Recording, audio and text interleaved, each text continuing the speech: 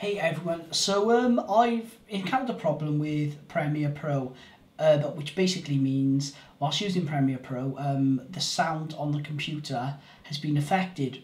Um, and I couldn't find any information to help anywhere at all.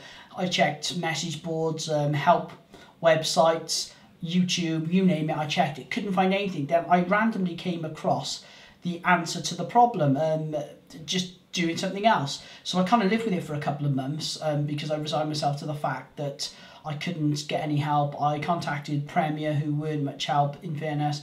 I contacted Apple, who were even less help.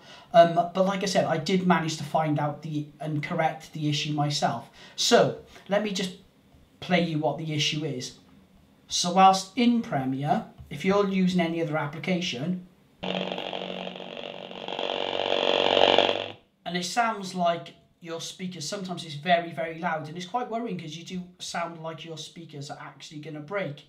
Um, so very simple quick fix actually. You go into um, Premiere preferences general audio hardware and the IO buffer size was re was at 16 which is meant to be 512 apparently 512 um, and it's as simple as that. Now, it took months and months for me to figure that out because, of course, I've never really uh, had to go into the audio settings. But, um, so when you're playing this, as you can see, we'll now play my video, bit of self-promotion, and it plays absolutely fine. It's that simple a fix. Um, but I was really, really worried at one time my speakers would actually blow. It was as simple as fix as that, um, which annoyed me because it was so simple. But of course, like I said earlier, I couldn't find any information anywhere, but I did stumble across it. Fingers crossed, since I have altered that, I've not had any issues and everything's played absolutely perfectly. So